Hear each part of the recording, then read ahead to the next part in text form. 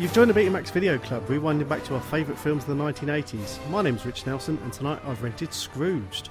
Watching it with me is Stephen Graham, returning again. Hi, Stephen, how are you? Hello, I'm very well, Rich. How are you? I'm very good. Um, thank you for coming back after the uh, Masters of the Universe episode. Now, this is the second or perhaps third Christmas podcast of the year, depending on whether you count Rocky 4. Why did you choose Scrooged? Uh, it's um. Well, you asked me to for one thing, but That's also, true. Uh, yeah, it's. It's, it's, it's not in my top tier of Christmas films, but I think of 80s Christmas films, it's probably up there, you know, among them. But it's a it's a sh- revisiting it now. It's a strange one to to look back on, but I think you know we'll we'll cover all of that as we go on. So, 1988, we've got Bill Murray, who's after the, the runaway success of Ghostbusters and, and some of his earlier films, he'd um, he kind of dropped off the map a little bit. Yeah. I believe he'd moved to France and at one point had given up or considering giving up acting altogether. But Yeah. um, He just he just failed his audition to be the Joker. okay, yeah. Yeah, so he was, I think, in a yeah, he was in a bit of a he was in that place where he was starting to gain that reputation for being difficult. I think that he's that he still has. This film, while a lot of people remember it fondly and, and very much enjoyed it at the time, he and the director Dick Donner famously didn't get on either, and mm. Murray was quite snarky about him throughout most of the film. Yeah, he, he doesn't speak glowingly about the film at all, which I was I was surprised to hear because it's one of those ones is lumped in with Murray at, at near the height of his powers as well, especially coming so soon after Ghostbusters.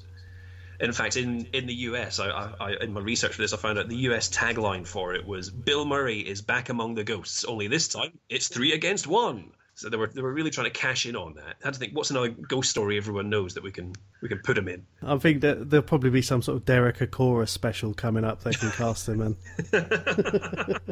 well, this is one of I covered uh, one of Richard Donner's, I suppose, Christmas films. This would have been the year after Lethal Weapon, I suppose, festive, and that other Christ-related Superman film he did.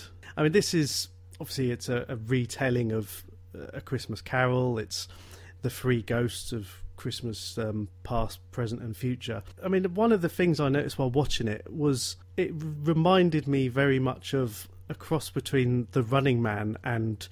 And it wasn't that far away from Groundhog Day either. Yeah, yeah, I, I kind of got that feeling too. As well, and it was a real sort of the spoof though.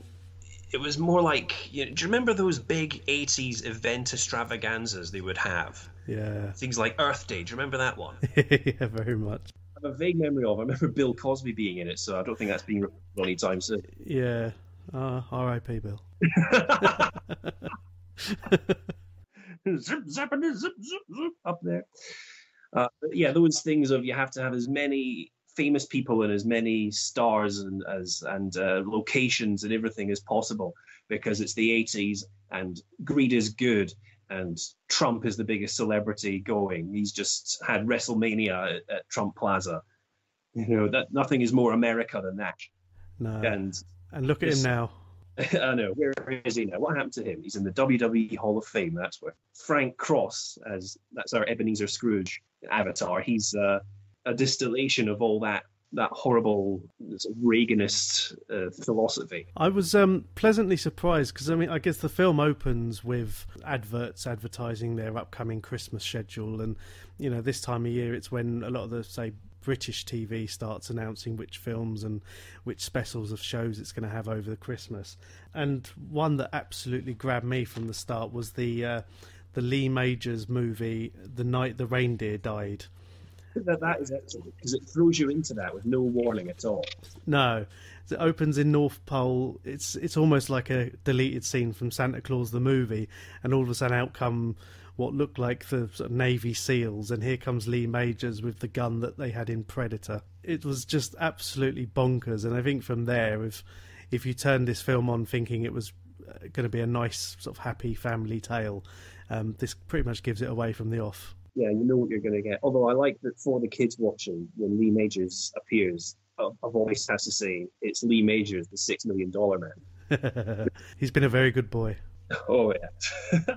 but this is the thing that sort of strikes me throughout the, the film is you know I saw this as a kid and I'm sure you did too and but there's so much in this that you just think, I cannot believe this is in a PG rated kids film. That they would not not fly now a lot of the, the stuff that, that turns up in it. You know, and this is something we talked about with with Christmas Vacation as well. That I, I would always thought it was just a I maybe I'd seen a, a, version of it that had been cut for TV, but you know, looking at it now, you kind of think, blimey, it's um. You know, there's lusting after, you know, talking about dancers' nipples and ghosts or zombies getting shot and the drink comically pouring out of them. It's uh, yeah. yeah, it was probably wasted on sort of I suppose eight or nine year old me, but one one for now anyway. Bill Murray being cremated alive in a casket at the end as well, which is fucking disturbing. I remember that. I mean, the, the first time I saw anything like that, I suppose, would be Diamonds Are Forever. Um, the oh. part where Bond was being, or supposedly being cremated alive, and I was thinking, I think from there it was just kind of those, geez, that, that I couldn't think of anything more scary. Mm. Yeah, but to go back to the dancer's nipples, I mean, Charles Dickens would have wanted to see those too. Well, yeah, I mean, it's I suppose he he wrote the character Tom Thumb, so like a uh, p- cocks or fighter pilots thumbs. I think it's just the term, isn't it? Yeah, yeah hang wet duffel coats on them. Yeah. One thing I was also surprised at, and and again, maybe it's just my sort of lack of awareness, but it was nice to see uh, Bobcat Goldthwait get a nice little run out. I'd only ever known him from Police Academy, and I thought that the character of Zed was actually him. I didn't realise he was actually might be acting. Yeah, although I, would misremembered that because as a kid I thought that was Rick Moranis. Yeah, yeah. Everything in those days. Ah, memories. Now, one thing. Um, it was Robert Mitchum played um, Jack I suppose, boss, really, even though the idea was that Jack was the, the head of everything. He talks to him about the idea of cats lo- and dogs loving TV and, and trying to push these things to sell more advertising. And it just seems like it's one of those things that even now there'd be. I think there is a TV channel for dogs. Yeah, Louis Wolf. You're supposed to leave your dog in front of the telly all day and, and they'll be happy. It's um, scarily prescient of the future. It's, it's like how all this, news coverage that was on the day to day 25 years ago is now in the news. I think it's interesting though how I mean it's the attitude to television from writers up until before the 90s. Writers had not really they hadn't grown up with television, so their attitude towards it was always really dismissive. And it, that comes across in this film as well about how television is a waste of time. It's false. It's you know, breaking up families, all that sort of thing. Whereas now, you wouldn't get that because writers who have all been raised in television and unashamedly love it, they all write about how television is the best thing ever. I did like. Um, I mean, this is what the era, I suppose, when because I mean, jumping ahead a slightly was the the Ghost of Christmas Past takes Jack, uh, Frank back to his sort of Christmas where he sat sort of six inches in front of the telly and amazing he hasn't got square eyes. But a lot of the a a lot of the show seemed to be built around adverts, or they're basically serialized adverts. There was the the part about Ovaltine and and everything else. I I thought I remembered from a Christmas story, and and this was you know obviously pre the days when TV became almost like the the the top end of entertainment above movies. Yeah, it was when TV was still rather embarrassing, and it, yeah, it was something that was either what tired men watched when they came home from work and collapsed on the sofa, or a thing you used to sell to children. I mean, as we when we spoke Masters of the Universe, that was a cartoon that existed solely to sell toys to children. Now, Frank, he seems to live for controversy. His um, you know, one of the scenes he opens his idea for the Scrooge Christmas special. It's real sort of horrendous stuff, isn't it? It's um, the fact that it kills an old woman just from seeing it. I suppose in, in today it would be, oh god, this is terrible, and this is the reaction people are expecting. But he loves it because, in I suppose in his eyes, there's no such thing as bad publicity. Controversy creates cash. That's a, an, another American saying in TV. The Goodies killed someone once you know, the, a man laughed himself to death during the um, Ecky Thump sketch, where each other with um, with uh, black pudding. You know, it wasn't subtle stuff. yeah, yeah. And so, yeah, that, that, didn't did them no harm. No, wonder if any of them, you know, learn the valuable lesson at the end. But we get, in some ways, despite this is being a Christmas Carol and it's the three ghosts who, you know, supposed to advise Frank about where life had gone and suppose it's it's a Wonderful Life and a million other films. Mm. He does have his sort of spirit guide on Earth of. Um, of Claire, the, the long lost love. Karen Allen in a, a rare non Indiana Jones appearance. Yeah, I think this is the only thing I've seen her in that wasn't Indiana Jones. but she's great. Yeah, and and she has a lovely nickname for him that isn't completely explained the whole time. Yeah, lumpy. Lumpy. I don't know if that that's not really a nickname you'd want to start bragging about. No, absolutely. Well, I don't know. I mean, depends depends on it. But uh, yeah, we and we get all the modern versions of the traditional characters. So Bob Cratchit is now his personal assistant, yeah, and Tiny Tim's a little mute boy. That, that was another '80s film trope that seems to have died out. this kid had undergone a trauma, and of course, part of Bill Murray's redemption is managing to get this child to speak again because that's one of the things that he saw in one of his visions. Mm. You have him being locked in an insane asylum again. Very very dark. Yeah, and that was like proper, proper with padded cells and everything else. This sort of young boy fuming in the corner.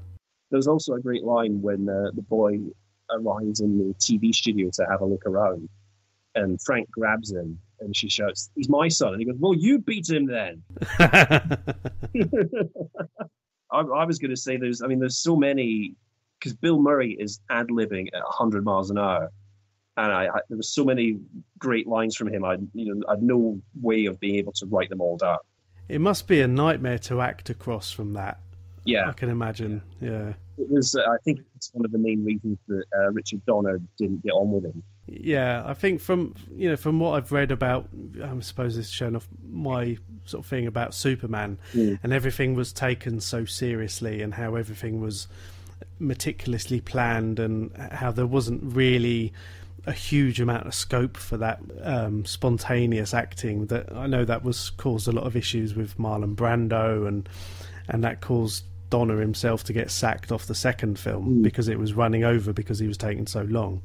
And I suppose if you're that meticulous about a film or or your work and having someone like Bill Murray turn up, it's um it's a recipe from disaster, and I'm amazed that they managed to put out a coherent film at all. Yeah, I mean, Bill. One of Bill Murray's complaints is that there was loads and loads of footage cut from the film. Uh, to me, that seems more like he's done something wrong rather than Donner, because A Christmas Carol is such a tight story that is virtually impossible to do badly. And and so, if you've got a whole load of material that's been cut and dropped, then yeah, you're not doing A Christmas Carol properly.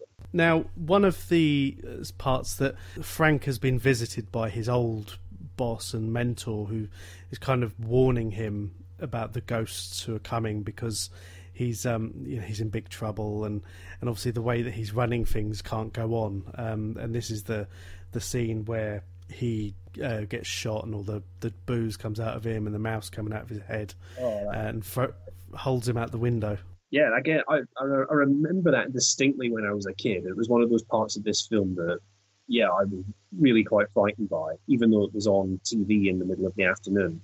this is when Frank starts getting visions and and starts fearing everything, and you know he goes for dinner with uh, Robert Mitchum afterwards, and this new sort of pretender who's coming to take his job, and you know his running thing is that there's an eyeball in his glass of water, the um, the waiter on fire, Yeah, and um, weirdly I'd, I'd clocked that then that it was the waiter was Socrates from Bill and Ted. was it? Yeah, I had, to, I had to look that up because he looked so familiar, and I had to look it up. And yeah, he was Socrates, So his his so Socrates. Socrates, yeah. So his his niche in Hollywood was non-speaking parts. Then, where he either might Yeah. or was set on fire. I mean, well, he's got he's cornered the market there. That guy. And they get a, they get, a, they get a, a topical joke in there though when he, he throws the water over the waiter who he thinks is on fire, and Frank says, "Oh, sorry, I thought that was Richard Pryor, who had apparently he'd recently on one of his crazed, drugged out frenzies had uh, had set himself on fire and run down a road or something." It's funny. I can imagine if, um, obviously, in the days before the internet, but if um, you know you're watching this as a family, and you know little Johnny turns to Daddy and says, "What does he mean by that?" he says, "Well, let me tell you a story about speedballing." Yeah. Let me tell you a story about a boy whose one of his earliest memories is being forced at knife point to give a man oral sex. And how he ru- ruined Superman 3. so we've got the first ghost who it's the Ghost of Christmas Past, and I always thought, and it's only again because I've watched this, you know, half seriously. I always thought it was Flea from the Red Hot Chili Peppers because it looks so similar to the character he played in Back to the Future two or three. Um, it turned out it was it turned out it was David Johansen of the uh, New York Dolls. Yeah, so. He's brilliant though. He's uh, he gets all the um, the, the manic bit in the beginning, but then when he's watching, I keep wanting to say Scrooge, but when he's watching Frank, looking at his younger self and everything, he's conveying, uh, you know, his sort of serious condemnation of him at the same time. He, he does both sort of sides of the character really well. He takes Frank back to his childhood home, where his brother in real life plays his dad, Brian Doyle Murray, in one of his sort of regular cameos, and we learn that sort of he watches a lot of telly. He he got was it five pounds of veal for Christmas? Yeah. Something What's wrong with that? Yeah, and as he said, you know that's worth a lot of money in today's market. Yeah, it would be. No, you could sell that to a French restaurant for quite a bit of money. or we could just open up a pop-up sort of place in Shoreditch and uh, ethically sourced. Yeah, that'll do. you know, a you know microwave ready meal for fifteen quid a go or something. Yeah, they'll love that. yeah, like the serial killer cafe for fucking thing. Yeah. And then, so he's four years old in this, and his mum is pregnant with his brother, who we meet a couple of times throughout the film. Played by Bill Murray, Murray's other brother. Yeah. Yeah, he's got about nine brothers and sisters. It's a family affair. Oh yeah, usually. And then we cut forward to 1968, and it's um, an office party where Frank is. This is obviously early days when he's young and idealistic and has long hair or longer hair.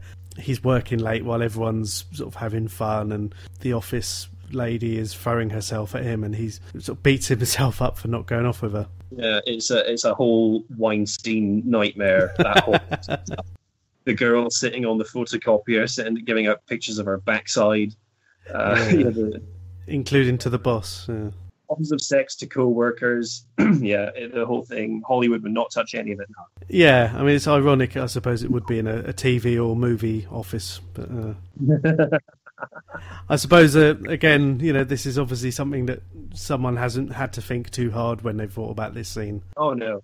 Although I do notice, as soon as we go into the stage now with the three ghosts, it becomes a straight adaptation of a Christmas Carol. Yeah. When you have when you have the beginning where it's all Bill Murray being Bill Murray. But no, it's it could it could be an adaptation of the traditional story. There's not, nothing there has changed at all. Just with more sex. Yeah, some more nipple.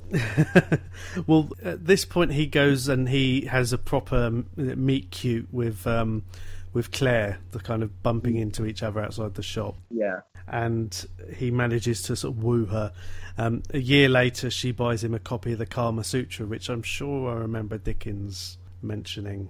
Dickens was a right old. Uh, he was a he was a goer. I'm sure he had a he must have had one tucked away somewhere. or maybe uh, it was Kermit giving one to Miss Piggy.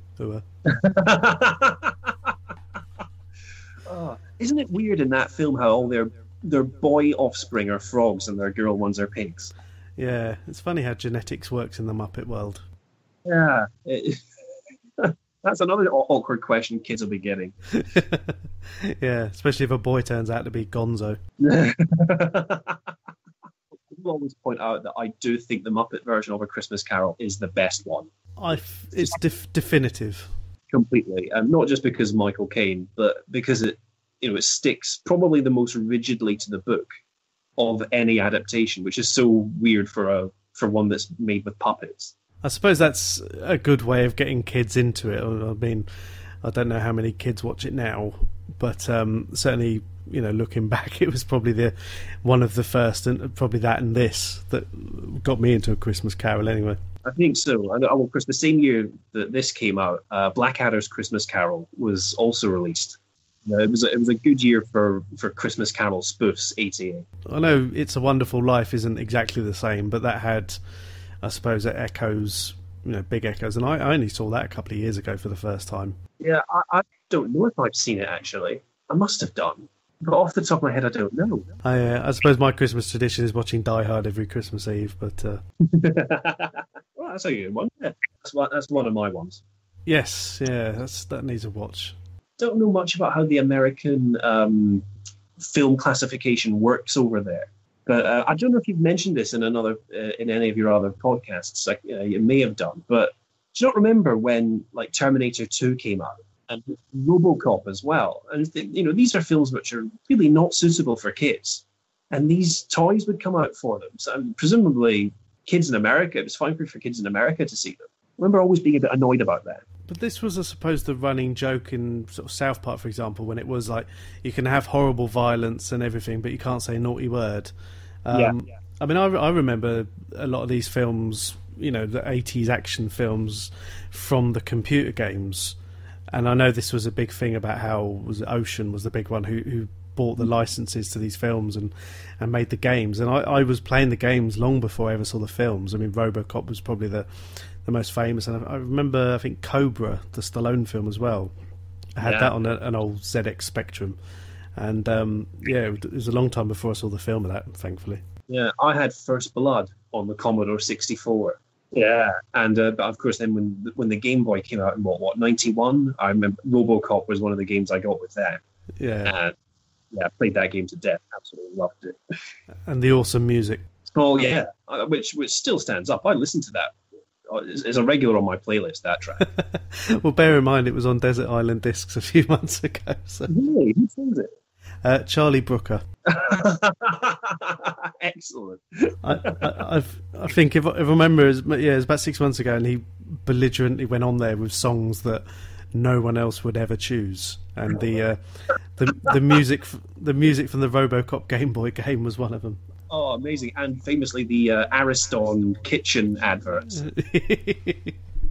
For some reason, it was they just wanted a computery sounding yeah, track that got chosen. They didn't know it was in a a very violent video game.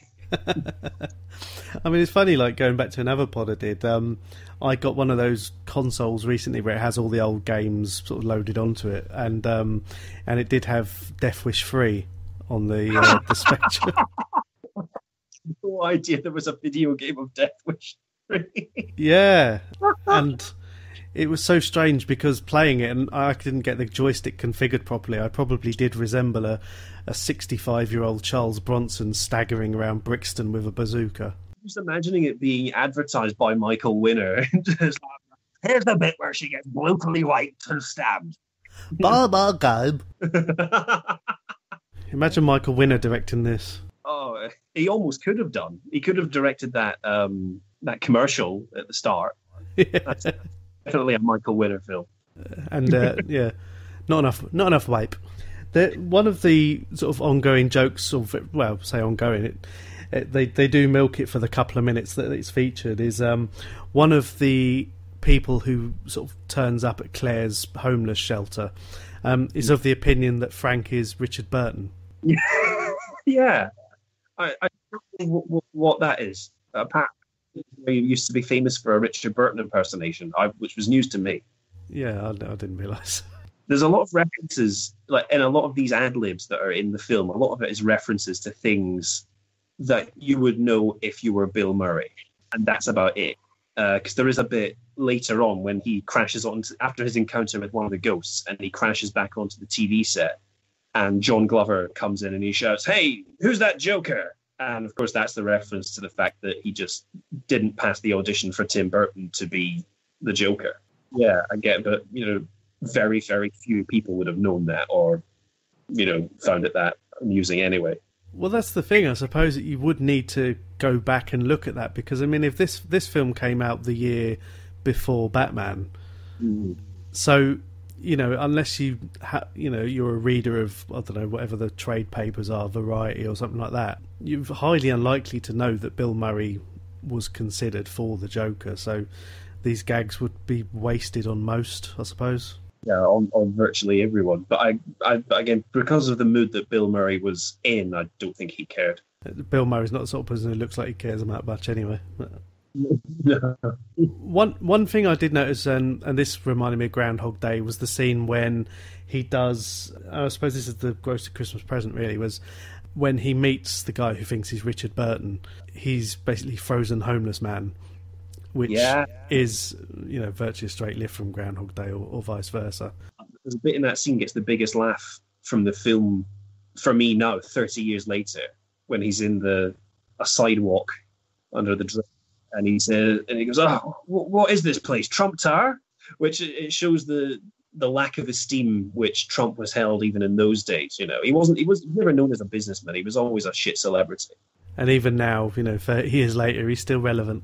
Yeah. And I suppose this would this would have been a couple of years before his infamous Rumbelows Cup quarter final draw on Saint and Greavesy. Yeah, it was the highlight of his career. Manchester United. WrestleMania. God, oh, memories. Was that WrestleMania um, four? I think I had that on video. Four and five were both at Trump Plaza. Yeah. Okay, yeah. they were terrible. He, because it was like you know when you if people go to Vegas and you buy hotel tickets and things like a show or a boxing match or whatever are thrown in. Yeah. People had bought a you know you'd buy a weekend in Trump Plaza in Atlantic City and yeah you got WrestleMania and of course none of these people are wrestling fans and so you're in this huge cavernous space with no one giving a fuck. you all want to see Hulk Hogan, but they have to wait three hours for him. So you know it's just dead. It's you know the they're not known in wrestling circles. They're not remembered as among the best of the events that they, they ever put out. I suppose I'm fortunate when we went to we went to Vegas for our honeymoon and we got tickets to Cirque du Soleil. Um, Oh. I think uh, about three weeks later, someone actually died in that show. So that, I mean, that would have been memorable. But you got your money's worth then, though, wouldn't you? yeah, I mean, we had a front row seat, and I sat there looking at this weird revolving stage, going, "Jesus Christ!" it is. I remember going to a show once, and it was with um, there was dancers in it who, you know, when they hang by the massive bit of silk from the ceiling. Yeah, yeah. They're over a co- they were over a concrete floor, and I had anxiety all through this because I found it really quite frightening. I'm not surprised. Yeah, they go up really quite high, and it- and yeah, I, I was on edge entirely, and so I couldn't enjoy it for. for, for you know, they were doing amazing acrobatic things, but I was like, no, I'm not comfortable here. Yeah. Yes, history, history. Now, the Ghost of Christmas Present is Carol Kane. We were watching a film, I forgot. Yeah. Um, no, we can slag off Donald Trump more or, or talk about dead people. Or th- maybe this is a Ghost of Podcast present. I don't know. So Carol Kane um, seems to now. Apparently, she didn't enjoy this, but the character very much enjoyed beating up Bill Murray. Yeah, and he told her to go for it for real. I did. I did see one bit where the part where she grabbed his lip actually, um, yeah, re- required some recuperation afterwards. Yeah, she actually cut him there. That looked painful. And there's a bit as well, in fact, earlier when we were talking about the scene where he throws water over the waiter, hmm. he slips on the water and falls in the doorway. And he nearly, I don't know if he does, but he looks like he nearly hits his head on the door frame. Yeah. And that was not meant to happen either. Again, another reason that Murray was miserable was that there was just no health and safety happening in this film. Falling over, Richard Pryor set himself on fire. I don't know. Uh, being kicked in the nads. Oof! No wonder he didn't enjoy it. Um, Yeah. Now they go they go to Grace's house, the assistant, and um, it looks like one of these sort of stereotypical, slightly poorer family where everyone lives in the same house. Although I did find the, I suppose this would be 1988, so the uh, the free South Africa poster on the kitchen wall. yeah. Yeah, I think that was something Richard Donner was involved in, so he was yeah big on that. Yeah. That's what did, I mean. He free South Africa, and he directed Lethal Weapon two. There's a theme there. there's a theme here. He, he didn't grow up in Shepherd's Bush. The one of the recurring jokes as well throughout the film. Uh, it started earlier on when Bill Murray's deciding what to give people for their Christmas presents, and it's either towel or VHS player. Now, obviously, staying on brand, it should be Betamax, but um, he gives Grace a towel, and there's a joke that they say, "Oh, what was your Christmas bonus?" And I'm drying my hair with it. Yeah. And they um, they cut to his brother's house where they're having a dinner party and, and ripping on him slightly. And he's like, "What? I didn't give him a video. I gave him a towel." Yeah, that's really good. That bit. There's also because that's a bit earlier on as well when he sacks um, Bobcat, and uh, when Grace says, "But it's Christmas," and he says, "Oh, thank you. Cancel his bonus." I miss Bobcat. Yeah, is he still Still- around? Yeah, yeah, he did. Um, I think he's like directing now, but yeah, I, I mean, he, he'll always be Zed. Yeah, he'll probably have a Netflix special soon. Everyone else does. Yeah, it's about time. But uh, Yeah. yeah, it did take me a while to realise that he he wasn't Zed. I mean, I've- what what is this acting thing? I don't Yeah. know. And I can and the other guy wasn't a, a robot who made those noises. Really, I, I thought they dubbed those in. That's crazy. No, he Ah. did. He did. When I lived in Dublin, he came and did a couple of nights uh, somewhere doing a stand-up show, and yeah, he was doing all of the the, the stuff. And yeah, he was excellent. Okay, was he funny? Well, yeah, it was more refreshing my memory than making Okay. me laugh. uh, maybe I should get him on the podcast. Oh yeah, totally.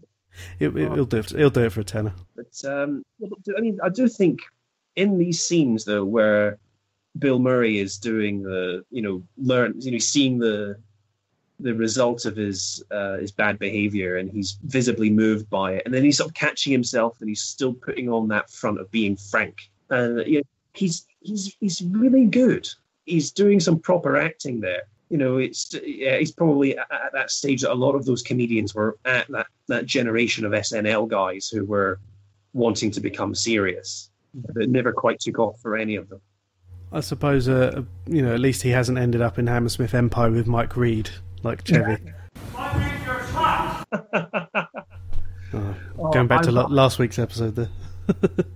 I did watch um, the Three Amigos recently, and Oh, uh, classic. it is. But I, oh, my main thing I took away from it was there was no need for Chevy Chase in that film. Would have been better if it was Martin Short and Steve Wright, who are both hilarious, because he does nothing in that film. He's just there to sort of lech a little bit, which um, again, it's not really acting. no. Yes, stick to Fletch. Yeah.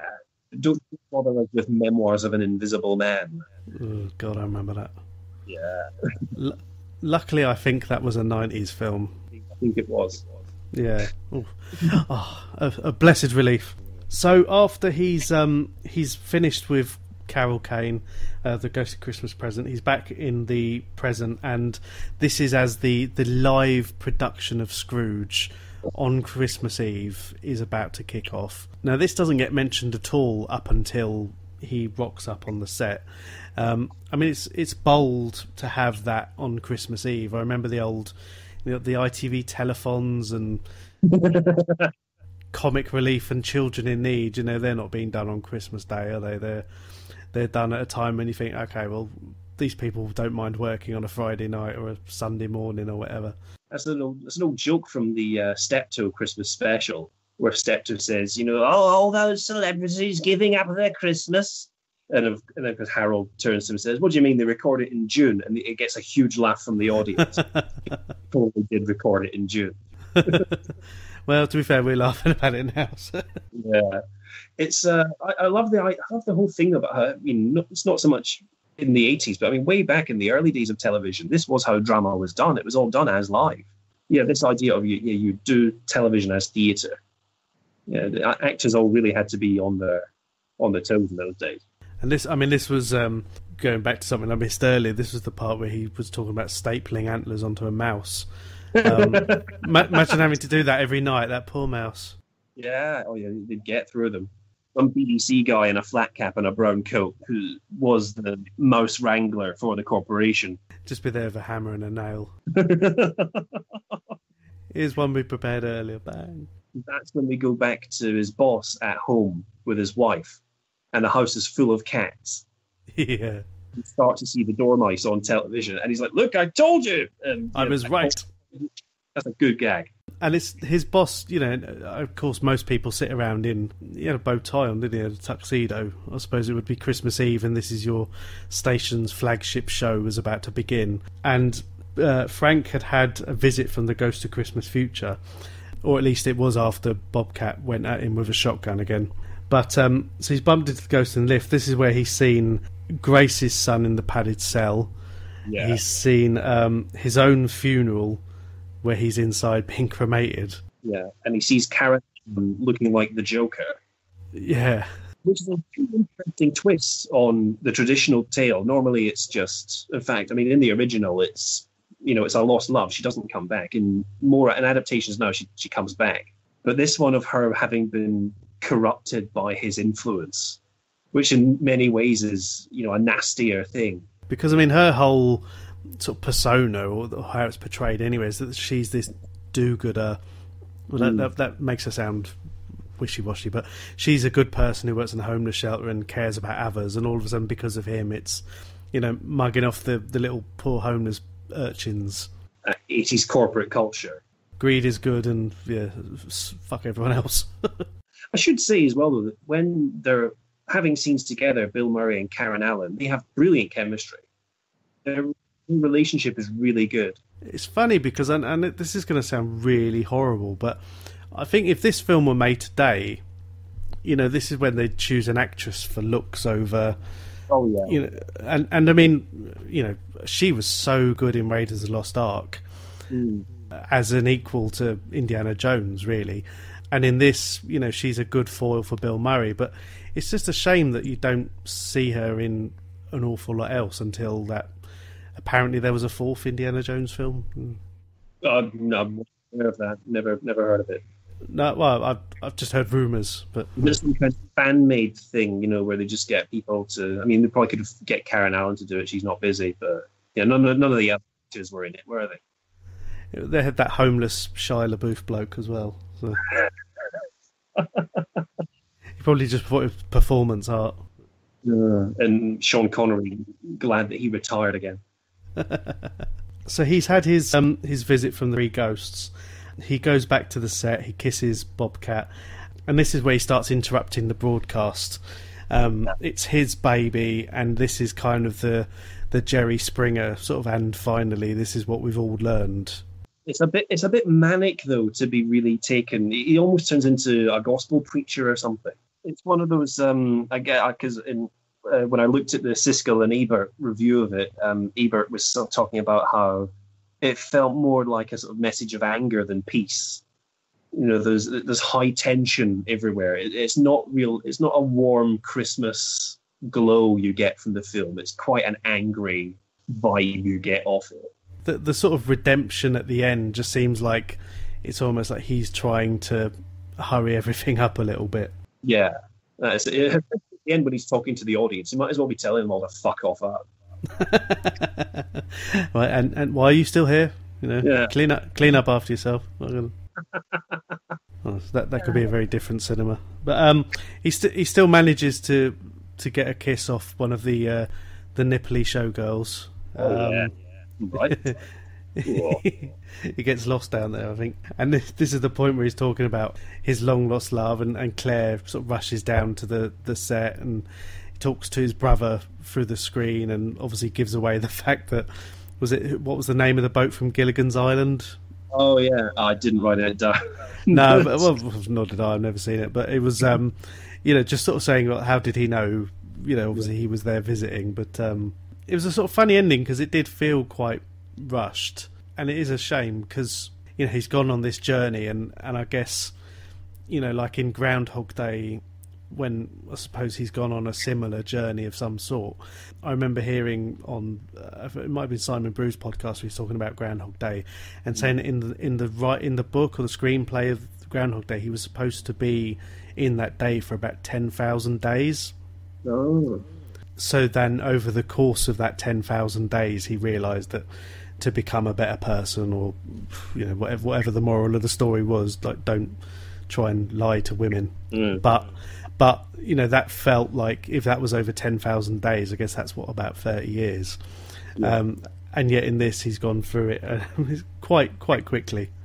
Well, yeah, well, I mean, Scrooge does it in a night, I think. So Yeah. yeah, we're on the, the same level. We're following Dickens on that one. Yeah, but um, maybe maybe we're sort of comparing Bill Murray to Michael Caine. You know, when we're in our with our Kermit hats on. well, I don't know. Yeah, I'm trying to think of a good comparison of Bill Murray to Michael Caine. But I don't, yeah, well, Caine wouldn't turn up at a student party at St Andrews and do the washing up. no, he just turn up and do Jaws four. Uh, Yeah. I was, I'm trying to think. My wife was talking earlier about um, Lost in Translation. Oh, I was sort of sitting there thinking, imagine if Michael Caine had done that. What's so funny about peace, love, and understanding? That's- he- Yeah, he'd do that. what does it? What does he whisper in Scarlett Johansson's ear at the end? How they got the gold off the bus. I voted to leave. I thought the Weinstein thing was just him having a bit of fun. Now, my name is Bill. Mu- no, um, Well, at least I, I can do Michael Caine. I can't do Richard Burton. So yeah, no, I mean, there's just some places you just don't go. Now, and of course, the final bit that I suppose we, we saw it coming with the um, the the kid who suddenly remembers how to talk. yes, that's our Christmas moment. God bless us, everyone. Right. Yeah, Ah. we've all learned something today. But, but even then, that bit seems really glossed over. You know, it's quite sweet when he picks up the little boy, but then he immediately moves on to something else.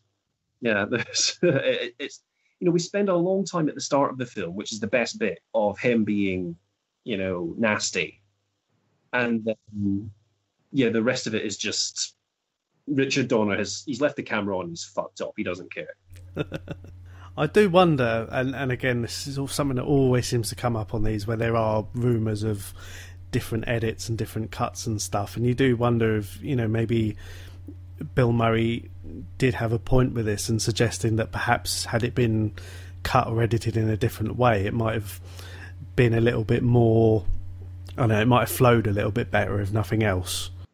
Yeah, I mean, you wonder how much of it would have been like in, like the well, to go back to Ghostbusters and the 2016 Ghostbusters, when some of the scenes just go on a they go on a bit too long because there's ad libbing, and there's trying to they're trying to get somewhere, and the the ad libbing just goes on a bit too long to be comfortable, and so I imagine there would probably would have been a, quite a bit a lot of that. There would have been uh, 80 minutes of him at the beginning and then sort of 10 minutes at the end of going, right, let's get through this bit. yeah, that is it. It would have Him and some made up stuff with Lee Majors. Yeah, and and Robert Goulet doing his uh, what was it? He's in the Everglades singing Christmas Carol. I, I, I wrote this down. It was um, Bob Goulet's old fashioned Cajun Christmas, I would watch that. followed by Father Loves Beaver.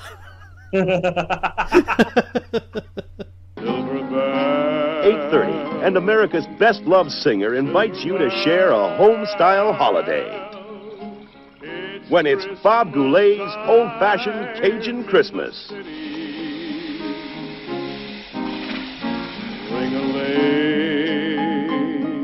Nine o'clock. IBC presents America's favorite family in a special Christmas episode. Hi, Mom. Where's Dad? Should have been home by now. Well, Wally, if I know your father, he's out chasing beaver. Father loves Beaver. Here on IBC. You'll love it. The sad thing is that will be better than whatever is on television at Christmas this year. Yeah, I'd watch that. I mean, I, I suppose um, it'll be either that or Noel's Christmas family accidents or whatever. and I guess Noel Edmonds probably will have made a comeback by the time this goes out. He's, um, he's in the jungle eating Yeah. worms for cash. So. He, he, he pictured in his mind's eye throwing a cosmic lasso over some uh, kangaroo testes. Yeah, they probably belong to David Icke. Ugh. On that bombshell. Ah. yeah, that was Scrooge. That was good. Well, amazingly, we managed to get through a podcast without um, talking about Pig Boy. Oh fuck! Yeah, Just there done we it. go. Yeah. um, but yeah, if um, if any of you enjoyed this, and um, yeah, St- Stephen's previous epi- uh, episode on here was Masters of the Universe, and that was um, episode eighteen of Betamax Video Club. So um, give that a whirl. That actually came out on Boxing Day in 1987. So um, maybe we could rehash that for a Christmas podcast. It's a Christmas film. Yes, Skeletor with a bit of tinsel on him. it, it more camp than it already was. Yeah, and we'll just have some pig boys in blankets. Hey! oh, fucking hell. oh, that, he, he gets that joke every year. Oh, I've peaked too late. Peaked too late. anyway, um, Stephen, thank you very much for coming on again. Absolute treat. Your Twitter is um, at Plop Gazette. yep, there's all sorts of filth and nonsense on there. Weird and wonderful things, and um, and a running commentary of uh, Red Dead Redemption. I finished the storyline. I'm just going to have to go back and play it again. Yeah, well, so hopefully have some time off over Christmas. All right. And um, and I'll play out the podcast with the song that was number one in the UK when this came out. Now this was the 25th of November 1988, and it was first Time" by Robin Beck, which, uh, as we were reminiscing off off mic, it was uh, it was actually from a Coca-Cola advert. So uh, the real spirit of Christmas. So. Hey, It, it ties in brilliantly to the film, though. It's corporate America. yes, holidays are coming. Yeah, Anyway, Stephen, thank you very much. absolute pleasure. Thank you. I'll speak to you soon. Cheers.